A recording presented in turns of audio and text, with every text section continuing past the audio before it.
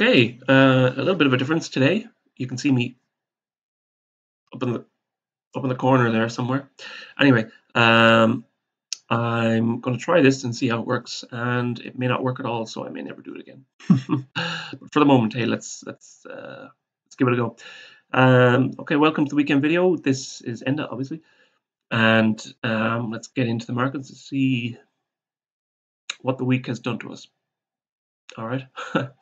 um, without further ado, I'm just going to dive into uh, this euro dollar again. So we'll go through the FX pairs and and then we'll get into the meaty stuff. Okay, so you know, uh, this is the four-hour chart here. There's a couple of uh, interesting things happen. I think we've uh, we're cresting a turn here. Um, I changed the to the alternate count. Was it last night?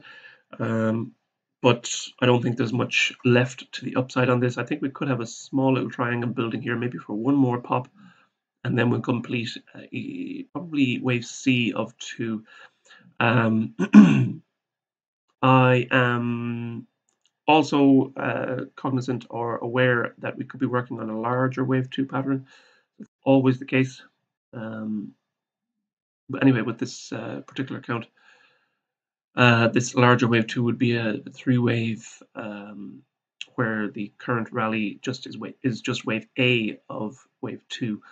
Um, and by the way, let me know if, in the comments if this is uh, seeing my face is weird because uh, I think it's freaking weird looking at my face.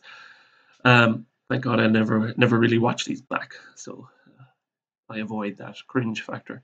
Okay, uh, so wave two is either complete as wave C, uh, the rally as wave C has just um, topped out, uh, or this is wave A of two. So either way, I think we're looking at a pretty reasonable decline dead ahead.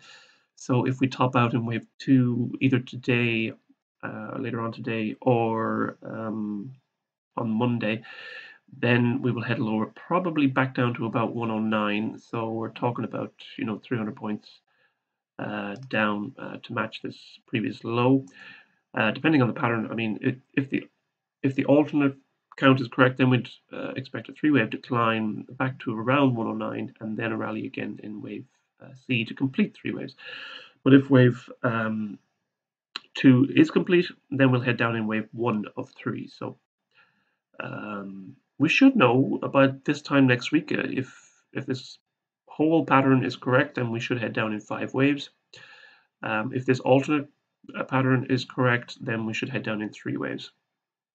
So I think next week is a down week for euro dollar um, in both scenarios uh, maybe starting today but most likely starting by Monday evening. Okay so let's get into the hourly chart here. So we have one two possible third wave uh, fourth wave correction maybe, and now uh, five waves up in wave five. You can see here um, that we could have a triangle. Let's see this kind of range contraction here. Uh, even this morning, we've only uh, we, we've created a kind of a higher low at uh, 111.38 or 39 and we're heading higher again. So if we kind of contract into the afternoon today uh, and then we pop we should pop maybe by this evening, maybe seven or eight this evening uh, in wave five. Um, that's the theory. Let's see how it works out. So if if wave five here is going to create five waves, we've got one, two, three, triangle fourth, and then one more in wave five. So for next week, let's see if this wave C completes five waves up and we get a turn down into wave one. Alternate scenario says we get a turn down into wave uh, B of a larger wave two. Okay, Follow that, well done. Okay, so let's uh, get into gold. Let's go to the four hour chart. So gold, uh, the triangle became the kind of dominant scenario. The triangle became the dominant scenario this week. Um, yes, it, it, doesn't mean that it is actually what has happened. I mean, it it's still very likely that this three waves down is actually wave four, and we've just worked on a one-two pattern off that that high. But for now, I think the triangle kind of suits uh, fairly well, especially if it's a fourth wave, because that's exactly where you'd expect a five uh, a, a, triangle to occur.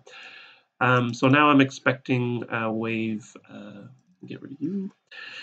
Now I'm expecting wave five to come in, and I'm looking at somewhere up around this upper trend channel here, uh, above 1600 for wave five over the next, you know, a couple of months, uh, in towards the end of the year, definitely in towards probably the middle of December anyway. Uh, so this will probably uh, take that a little bit longer to um, to trace out.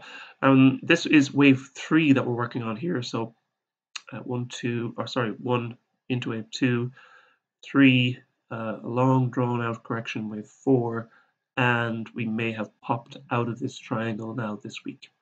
Uh, if that's the case, then next week should push out above that um, 1550 level. Uh, we have a, a couple of um, previous highs here that'll form resistance in the short term, so 1535 and then 1556. Um, if we see a break of that, definitely that 1556 level, then that'll confirm wave 5 up. But I think we're close to confirming it now anyway, so uh, we've got to see that fourth wave low um, hold over uh, the early trade next week, and definitely today, obviously.